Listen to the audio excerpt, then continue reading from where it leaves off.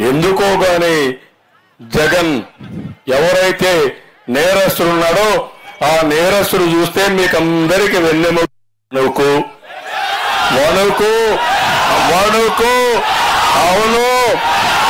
పోలీసులు కేసు పెడతారని భయము. అవును. అవును. ఏంటలా ఉంటే ఎవడన్నా? ఒకటి అడుగుతున్నా మీరు చెప్పండి. ఈ గుంటూరు వాళ్ళకి సిగ్గుంటే. అమరు వాడుతున్నా. ఎవడన్నా వైఎస్ఆర్ కాంగ్రెస్ జెండా కట్టుకొని తిరుగుతాడా ఇక్కడ? ఎందుకు అడుగుతున్నాను? అమరావతి రాజధానిని ఏం చెప్పాడు ఎన్నికల ముందు? చెప్పాడా లేదా? తాడేపల్లి ఎక్కడ? ఇక్కడే కదా మంగళగిరి పక్కనే కదా? ఏం చెప్పాడు మంగళగిరిలో? ఇక్కడే ఉంటుందని చెప్పాడు లేదా? ఎమ్మెల్యేలు పోటీ పడి చెప్పాడు ఇప్పుడు ఏమయ్యారు మీరు? బతుకున్నారా మీరు? ఏం తమ్ముళ్ళు అడుగుతున్నాం మిమ్మల్ని? మీకు ఇక్కడ కానీ అమరావతి వచ్చుంటే మీరు ఎందుకు హైదరాబాద్ పోవాలా? ఎందుకు బెంగళూరు పోవాలా? ఎందుకు ఇంటి పనులు చేయడానికి పాసి పనులు చేయడానికి హైదరాబాద్ పోతున్నారు మీరు? భవన నిర్మాణ పనులు చేయడానికి హైదరాబాద్ పోతున్నారు? నేను అదే ఆలోచించా. ప్రపంచానికి మొత్తం పోయిన వాళ్ళని ఇక్కడ తేవాలని అమరావతి కడితే ఒక ఆదర్శ సిటీగా ప్రపంచంలోనే ఐదు అగ్రనగరాల్లో ఒక నగరంగా తయారు చేయాలని కలలు కంటే జగన్ రెడ్డి వచ్చి ఎన్నికల ముందు అమరావతి ముద్దు ఎన్నికలు అయిన తర్వాత మూడు ముక్కల ఆట. మూడు ముక్కల ఆట ఆడుతున్నాడు. ఎవడిచ్చాడు నీకు అధికారం? నీకు విశ్వసనీయత ఉందా జగన్ రెడ్డి? ఓటు అడిగే హక్కుందా జగన్ రెడ్డి? కానీ అడగతాడు. ఎందుకు? ఎందుకు మన సమర్థత? ప్రజల అమాయకత్వం. ఎందుకన్నానంటే నేను అడుగుతున్న ఇరవై రెండు నెలల్లో ఎవరికైనా మంచి జరిగిందమ్మా? ఏ పేదవాళ్ళకైనా మంచి జరిగిందా తల్లి? ఏమమ్మా? పెట్రోల్ ఎంత ధర? వంద రూపాయలు. ఈ పేదవాళ్ళకి ఏమైనా ఉచితంగా ఇస్తున్నాడా పెట్రోల్? డబ్బులున్న వాళ్ళకే పడతా ఉందా? అందరికి పడతా ఉంది కదా. ఎందుకు మీకు కోపం రాలా? ఏమ్మా వంట గ్యాస్ ఎంత? తొమ్మిది వందలు కదా. నేనున్నప్పుడు ఎంత? ఐదు వందలే కదా. నేనే కదా గ్యాస్ ఇచ్చా. నాలుగు వందలు పెరిగితే మీకు రోషం రాలేదా? రేపు ఎన్నికల్లో వెయ్యి రూపాయలు ఇస్తారు. ఓ వెయ్యి రూపాయలు ఇచ్చాడు. పాపం మనం ఓటు వేయకపోతే వేసేద్దాం వేసేయండి మళ్ళా మీ నిద్ర కొరువు పెట్టుకోండి. పెట్టుకుంటారు కదా మీరు? ఎన్నికల ముందు వచ్చాడు. ఎన్నికల ముందు వచ్చి ఏం చెప్పాడు? ముద్దులు పెట్టాడు. అందరికీ ముద్దులు పెట్టుకుంటా వచ్చాడు. మీరు ఐస్ అయిపోతుంది ఒకే అవకాశం అన్నాడు. నేను చెప్పా ఆ రోజు ఒక మాట చెప్పా. ఒక అవకాశాన్ని కరెంటు తీగ పట్టుకుంటే ఏమవుతారు తల్లి తండ్రి అన్న తమ్ముడు ఆలోచించమన్నా విన్నారా నా మాట? పట్టుకున్నారు. పట్టుకుంటే ఏమైంది? అయిపోయింది. ఇప్పుడు ఐదేళ్ళు నరకాన్ని అనుభవిస్తున్నా అనుభవిస్తున్నా లేదా? నేను అడుగుతున్నా ఈరోజు ఎంతమ్మా చింతపండు? ఎంతమ్మా చింతపండు? రెండు వందల మూడు వందల?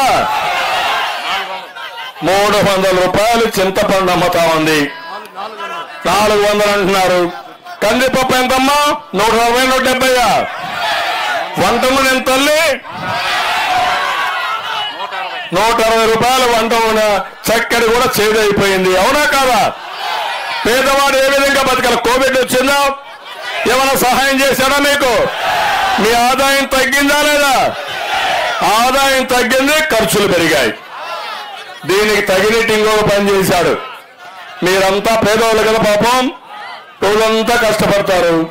సాయంత్రం ఒక పెగ్ చేసుకుని అలవాటు అయిపోయింది. దాంతో ఏం చేశారు మీరు? ఆ పెగ్ చేసుకోవడానికి బలహీనం కాబట్టి మీ బలహీనతను ఆధారంగా చేసుకొని జగన్ అండ్ కంపెనీ మ్యానుఫ్యాక్చరింగ్కి వెళ్ళిపోయాడు. మందంతా ఆయనే మ్యానుఫ్యాక్చరింగ్ నాసిరేకం బ్రాండ్ తమ్ముడు ఏ బ్రాండ్ చూసారా boom boom. Special status young star Andhra gold president medal ఏ తమ్ముళ్ళు? ఎంత రేట్లు పెంచాడు? మూడు రెట్లు పెంచేశాడు. అమ్మ ఒడి పద్నాలుగు వేలు. నాన్న బుడ్డి ముప్పై ఆరు వేలు. సంవత్సరానికి ఐదు వేల కోట్లు లంచాలు ఈయనకు. మీ బతుకేమైనా పర్వాలేదు కానీ రేపు వెయ్యి రూపాయలు ఇస్తే మాత్రం పాపం వెయ్యి రూపాయలు ఇచ్చాడు. కాబట్టి మేము ఓటేయాలా వేస్తారు వేసేయండి మన పని అయిపోతుంది. ఇదో పక్క చూడండి. ఇదే కాదు ప్రతి ఒక్కటి ఇసుక. పక్కనే కృష్ణా నది ఇసుక దొరుకుతా ఉందా మీకు? ఏం చెప్పాడు ఎన్నికల ముందు? ఇసుక బాగా దొరుకుతా ఉంటే లేదు ఇసుక దొరకలేదని విమర్శించిన వ్యక్తి ముప్పై వేలు. తమ్ముళ్ళలో రేపు ఇంకొక ఆయన వస్తున్నాడు పొంగునూరు పొడింగి యాభై వేలు చేయబోతున్నాడు మొత్తం చేసుకొని మీకు అప్పుడే ఆలోచన వస్తుంది. ఇంకా కొడతా ఉండి సుత్తెత్తుకొని మీకు అప్పుడప్పుడే కొద్ది కొద్దిగా నెలకు వస్తారు తప్ప నేను చెప్పింది మీకు ఎక్కడం లేదు. ఎక్కితే ఎందుకు రావాలి ఇక్కడికి ఎన్నికల కోసం? మీరే ఓటేయాలి. కష్టం మీకు నాకు కాదు. మీకు ఈ కష్టాలు పెట్టిన వ్యక్తిని చిత్తు చిత్తుగా ఓడించిన మీ బాధ్యత అవునా కాదా అని వాళ్ళు అడుగుతున్నా. మళ్ళా ఇక్కడ కులం వస్తుంది మళ్ళా మతం వస్తుంది మళ్ళా డబ్బులు వస్తాయి. మళ్ళా భయం వస్తుంది. ఏం తల్లి ఇన్ని పెట్టుకుంటే మీరు ఎక్కడ బతుకుతారు? ఎప్పుడన్నా ఉన్నాయా ఇవన్నీ మీకు? అందుకే అడుగుతున్నా మా వాళ్ళు వెనక నుంచి టైం అయింది టైం అయింది అంటున్నారు. నా బాధ అంతా మీకు టైం కంటే కూడా ఇక్కడే మీ అందరికీ చెప్పాల్సిన అవసరం ఉంది. అందుకే మిమ్మల్ని అందరినీ కోరుతున్నా నేను వచ్చింది ఓటు కోసం కాదు మిమ్మల్ని హెచ్చరించడానికి వచ్చా. నాకు అధికారం కోసరం కాదు. మీ భవిష్యత్తు కోసం వచ్చా. మీ పిల్లల భవిష్యత్తు కోసం వచ్చా. మీ కష్టాలు తీర్చాలంటే ఏకైక మార్గం జగన్ పెట్టిన అభ్యర్థులందరినీ చిత్తు చిత్తుగా ఓడించండి.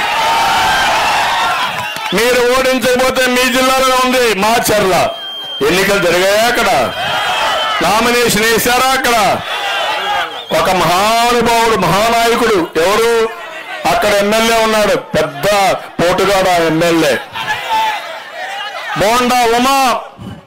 అదే మరిగా వెంకన్న ఇద్దరు అక్కడ పోతే ఎమ్మెల్సీ మాజీ ఎమ్మెల్యే పోతే వాళ్ళిద్దరి పైన కర్రలు తీసుకొని దాడి చేసి కారు అద్దాలు పగలగొట్టిన వ్యక్తి రౌడీ షేటు మాచర్ల మున్సిపల్ చైర్మన్.